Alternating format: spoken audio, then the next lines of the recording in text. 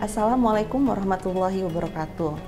Alhamdulillahirrabbilalamin Wassalatu wassalamu ala ashrafil anbiya'i wal mursalin Sayyidina Muhammad wa ala alihi wa sahbihi ajmain. Amma ba'd Rabbi srahli sodri wa yasirli amri wa hlul uqdatam min lisani yafqahu qawli. Pemirsa UIK TV yang dirahmati oleh Allah Bulan suci Ramadan merupakan bulan di mana Allah Subhanahu wa taala melipat gandakan seluruh amal ibadah yang kita lakukan Salah satu amal ibadah yang sangat dianjurkan bahkan diwajibkan untuk dilakukan di bulan ini adalah kegiatan berbagi.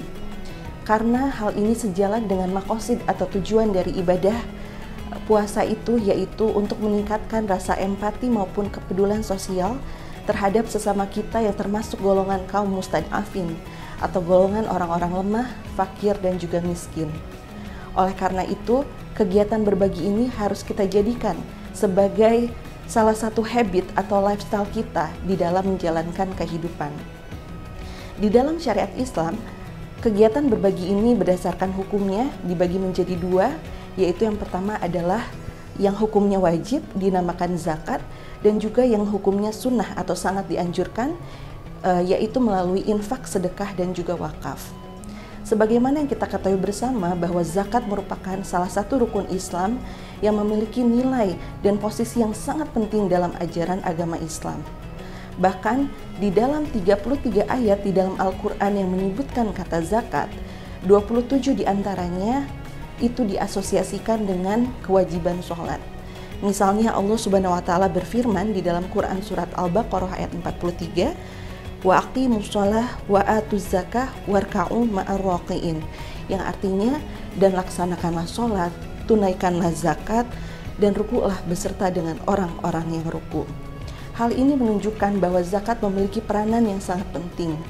Selain zakat fitrah yaitu zakat yang kita keluarkan uh, setiap bulan Ramadan dalam bentuk bahan makanan pokok yaitu beras ataupun dalam bentuk uang tunai, Zakat pun ada yang dinamakan zakat mal atau zakat harta yang ada syarat-syarat tertentunya yang ternyata melalui beberapa penelitian memiliki potensi ekonomi yang luar biasa. Penelitian dari Badan Amil Zakat Nasional menyatakan bahwa potensi zakat di Indonesia itu mencapai 200 hingga 300 triliun per tahun. Masya Allah betapa luar biasanya potensi ini apabila dapat direalisasikan maka akan banyak permasalahan umat yang dapat di e, carikan solusinya. Lalu ada pun kegiatan berbagi yang bersifat e, rekomendasi atau sunnah yang lebih fleksibel, yang lebih e, dapat dilakukan oleh siapa pun, yaitu infak, sedekah, dan wakaf. Dan ini sangat-sangat dianjurkan oleh ajaran agama kita. Bahkan dalam satu ayat yaitu di Quran surat Al-Munafikun ayat 10 Allah Subhanahu wa taala berfirman yang artinya dan belanjakanlah dan infakkanlah sebagian dari apa yang telah kami berikan kepadamu sebelum datang kematian kepadamu sebelum datang kematian salah seorang di antara kamu. Lalu ia berkata, Ya Tuhanku, mengapa engkau tidak menangguhkan kematianku sampai waktu yang dekat, yang menyebabkan aku dapat bersedekah, dan aku termasuk orang-orang yang soleh.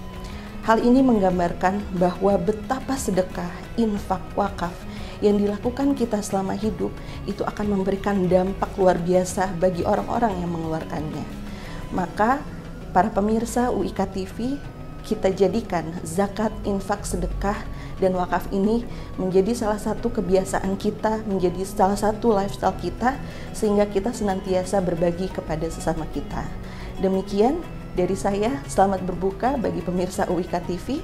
Wassalamualaikum warahmatullahi wabarakatuh.